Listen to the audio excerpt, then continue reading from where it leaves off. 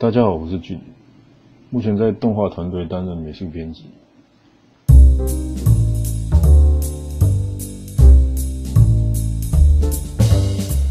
高中的时候学的是纯美术，就是那种比较偏向数科考试取向那种素描还有水彩，比较没有去研究插画这个部分。不过因为我和大家一样都是 看卡通长大的，我实在太爱卡通，因为他们的表情可以很夸张，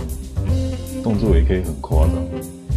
就感觉是那种脱离现实，然后不受拘束的那种自由，我很喜欢那种感觉。所以毕业之后，我就自己尝试了插画这部分，就发现可以随心所欲的把自己的想法，用我们所熟悉的卡通的表现方式画出来，哎，还蛮好玩的。之后就一直往这方面去做创作。